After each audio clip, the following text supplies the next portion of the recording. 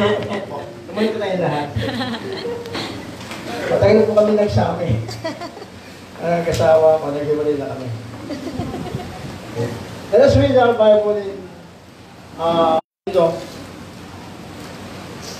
Two other men, both criminals, were also led out with him to be execu- executed.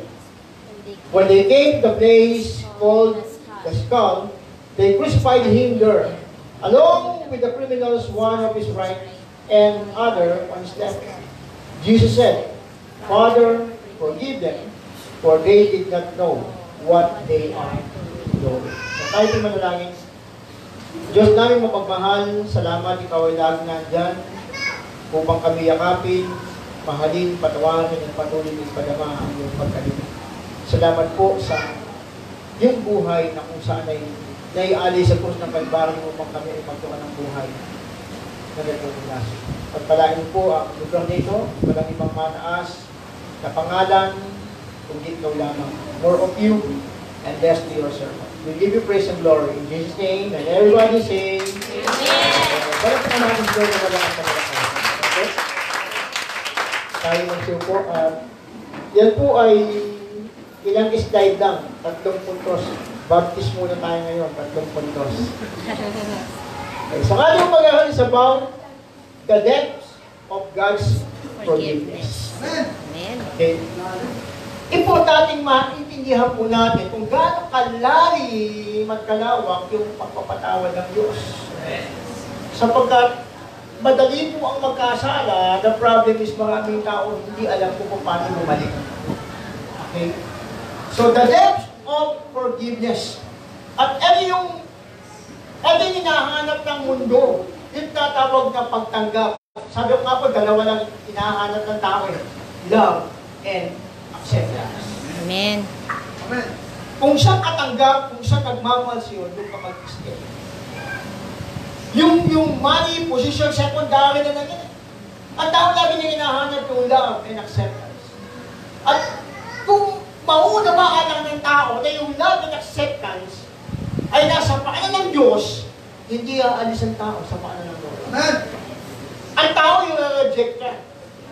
Kasi tao, ewan ko bakit may mga tao ang taas ng standard. Ah, ito, di, di, di, di ba?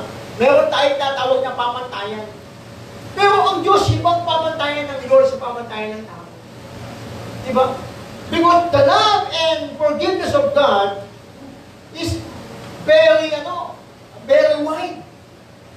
Napakalawak at napakalalim.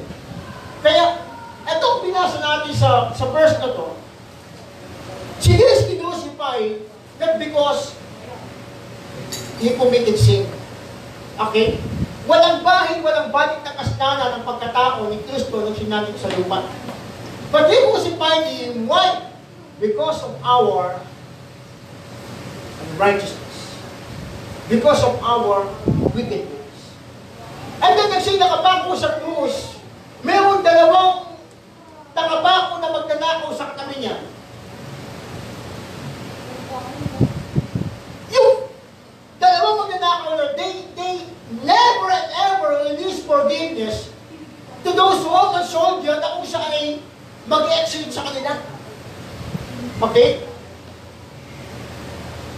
Sa kabila ng sila ay makaslan, but si Jesus Christ, iba. Kapag ka pala ikaw nag-release ng forgiveness, iba ka. Amen. Kasi hindi lahat marunong mag-release ng forgiveness. Hindi lahat marunong na gano'n. Hindi naman yung, ikaw ba marunong ka pag-forgive?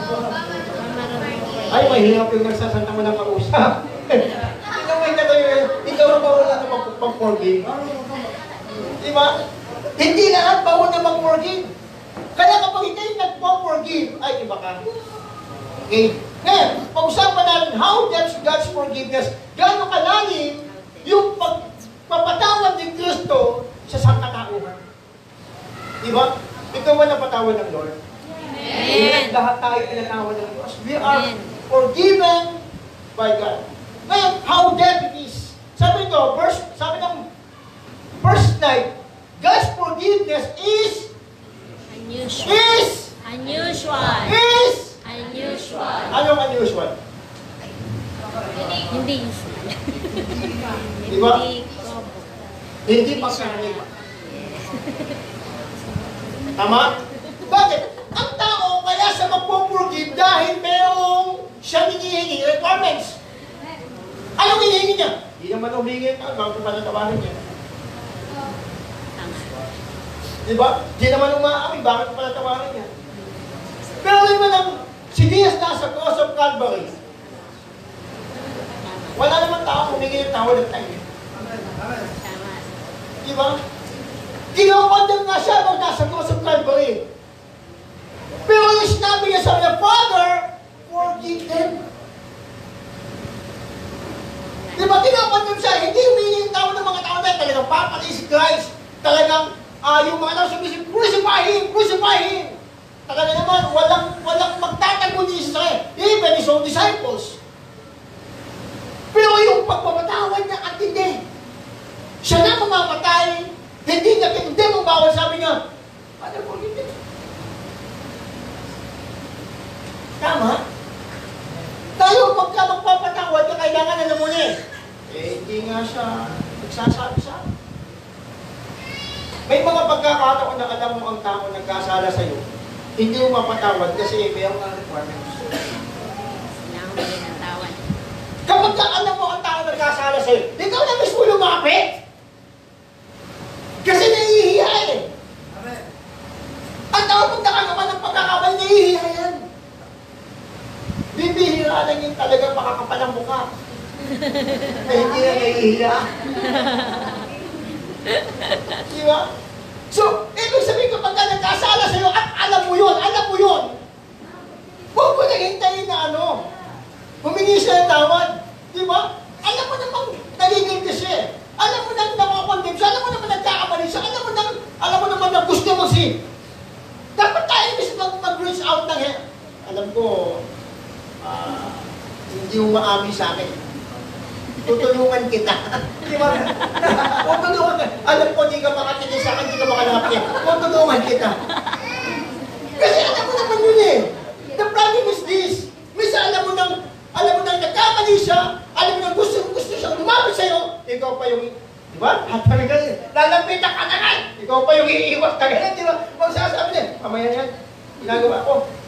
Minsan hindi namin ibig- ibig- bigyan ng pagkakataon. Mag-confess, mag-ask ng forgiveness ang tao.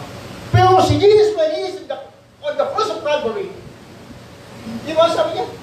Talagang binabato siya, sasaksakin siya, kinupan niya siya ng maraming tao.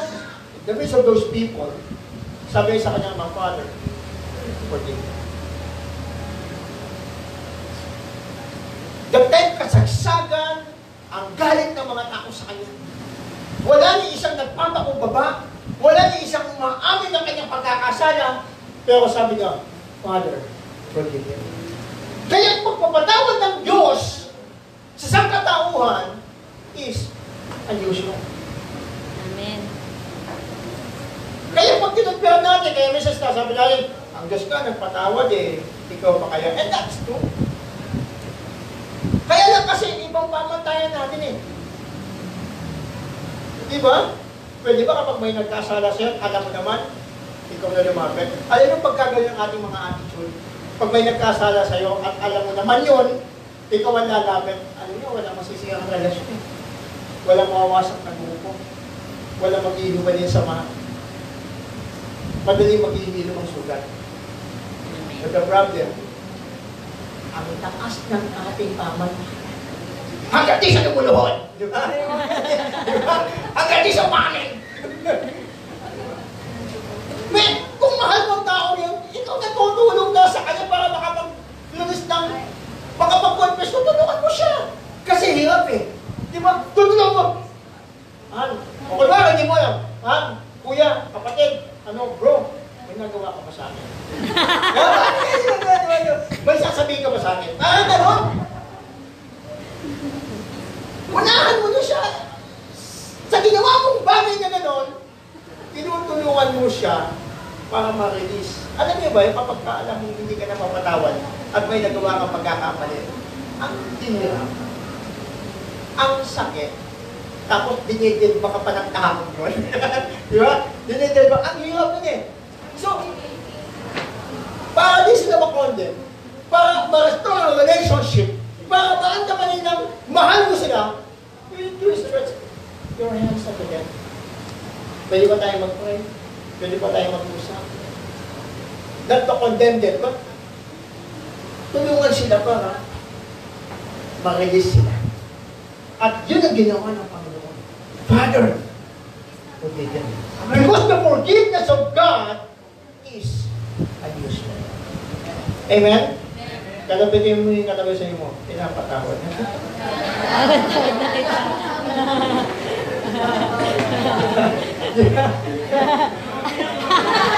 May ginagtawad.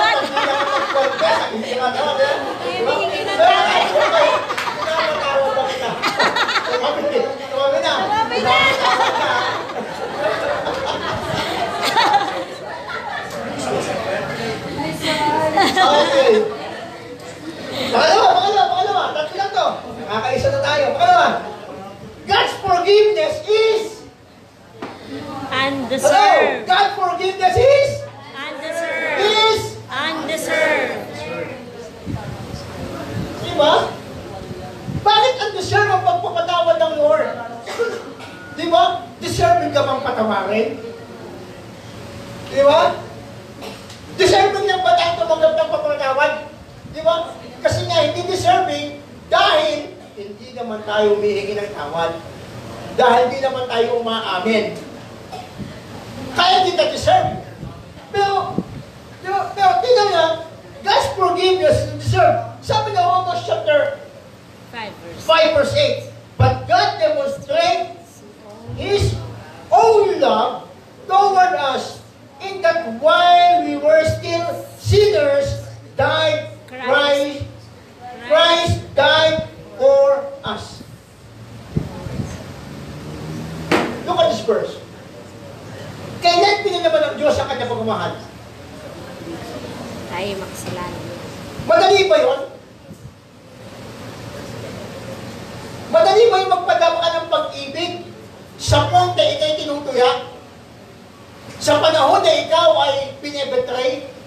Madali ba magpadama ng pag-ibig sa panahon na ikaw ay ah, sinisiraan?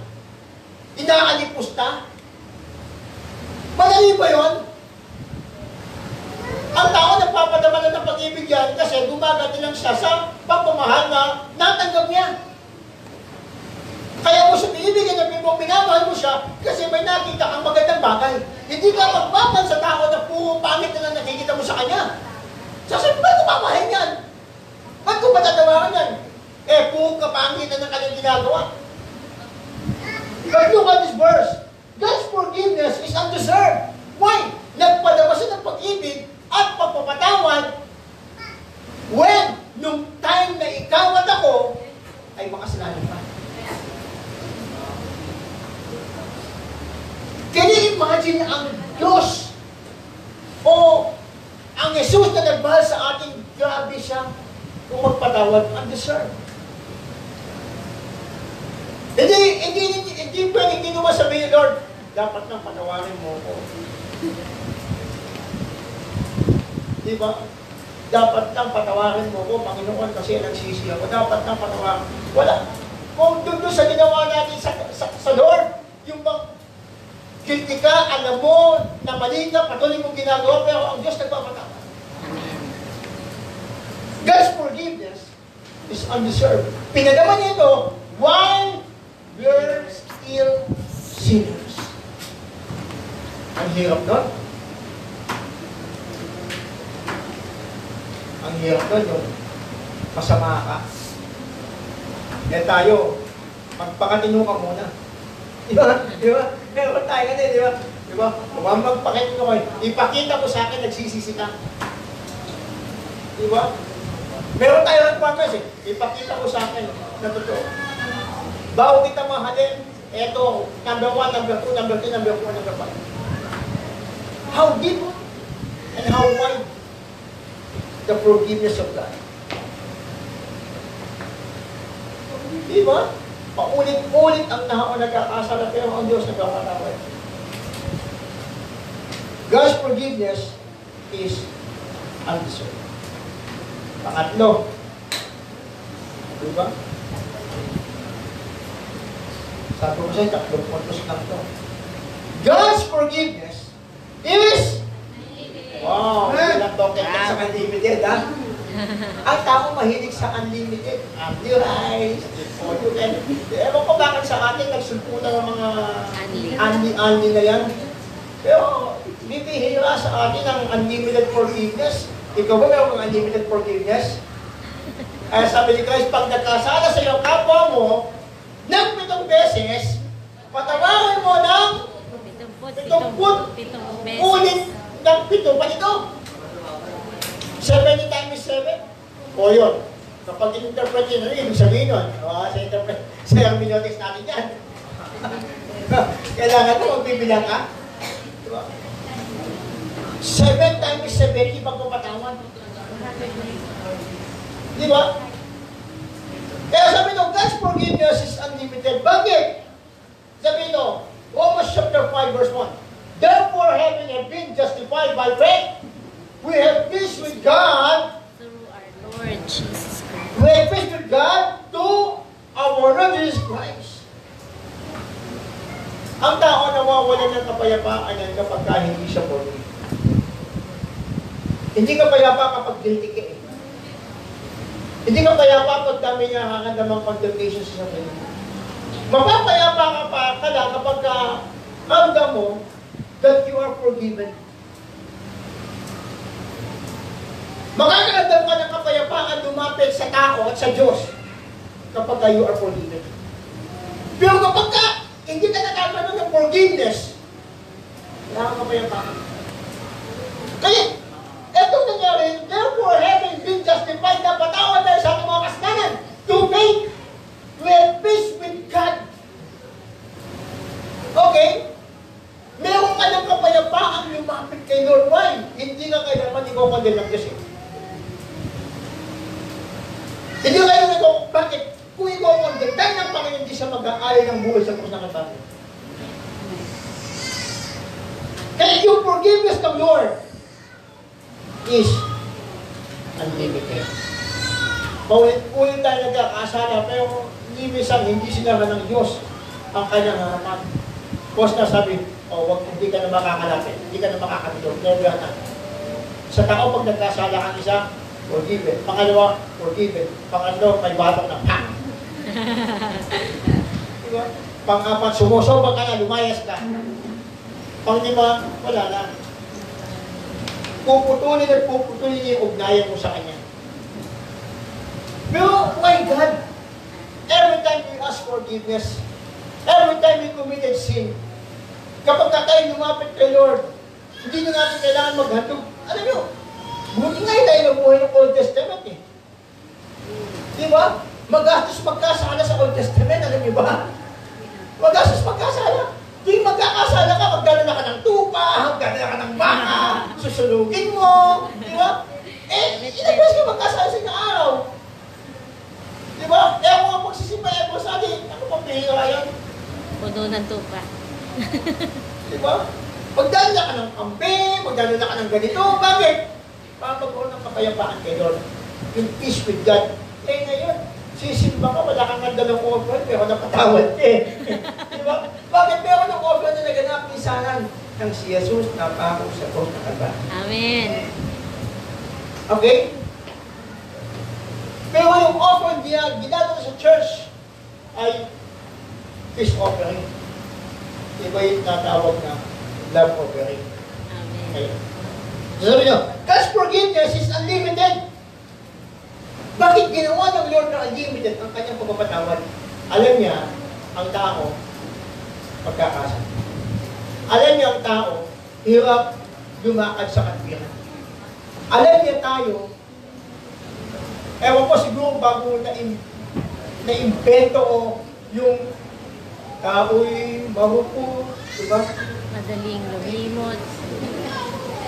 No, when we talk about human, hindi naman ganun kahupok talaga.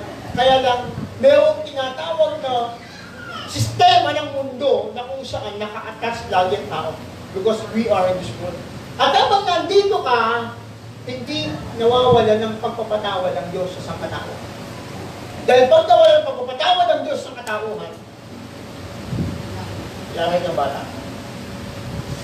But the forgiveness of God is unlimited. Amen? Ngayon, dito tayo. Next slide.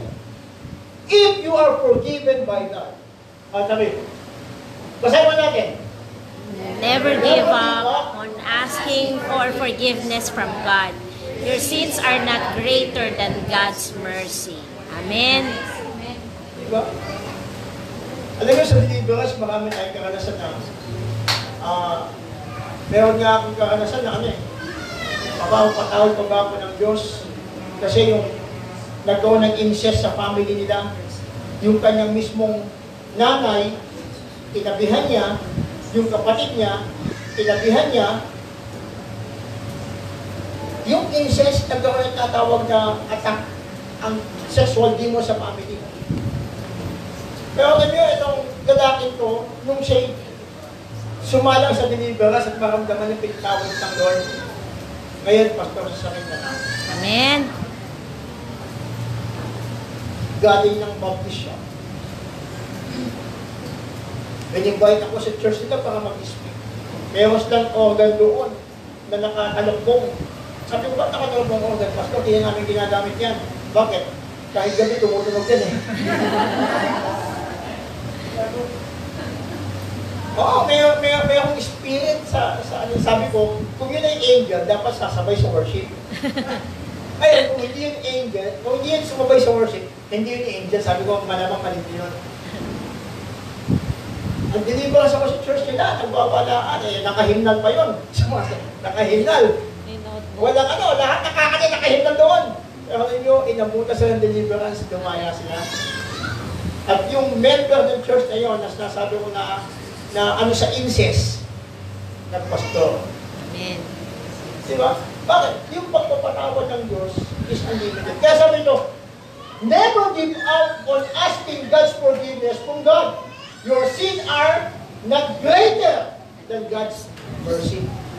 Yes, marami kang pagkakamali, marami kang pagkakasala.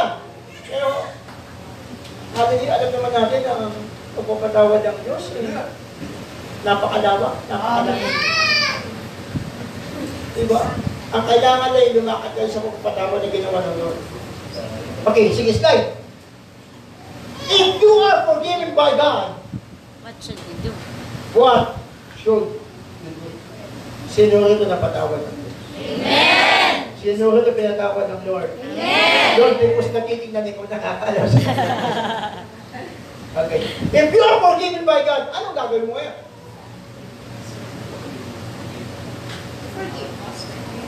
Diba? Number one, you have to forgive those who offended you. And then, pangalawa, you must walk upright in the presence of God. Amen? Amen. Meron tayo isang ano pa, isang slide pa. Okay. Forget Your past. your past. Forgive yourself. yourselves. And begin. Okay. Hindi tayo makakapagpasimula kung alam mong pinatawad ka ng Diyos pero ayaw mo magpanibagong simula. Amen? Lahat naman tayo galing sa kusabi. Lahat naman tayo ay walang may pagmamalaga sa bawat isa. Amen. Tayo ay biniyaan lamang ng grasya ng Diyos. Habang tinatamasa natin ng grasya ng Panginoon, need to forgive each other. Sabi mo yun po siya kadali pag nagkasala ka, nagkasala ka, patatawarin pa rin kita. patatawarin pa rin kita. Malabas sa sa'yo ha. Sa'yo pag nagkasala ka, Pag nagkasala ka, patatawarin pa rin kita. patatawarin pa rin kita. Sana ganun ka rin.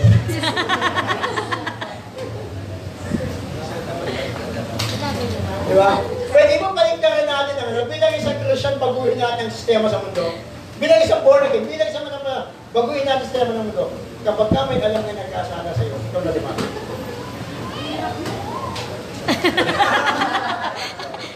Tama. kasi, ang sistema ng mundo kasi ganito, di ba? Ang Kapag ka, sila nagkasala, hinihintay natin eh. Kaya may condemnation na gaganap, mayroong matagal na panahon na walang ibigan, di ba? Tapos, pag nagkaganon, lumalala pa yun.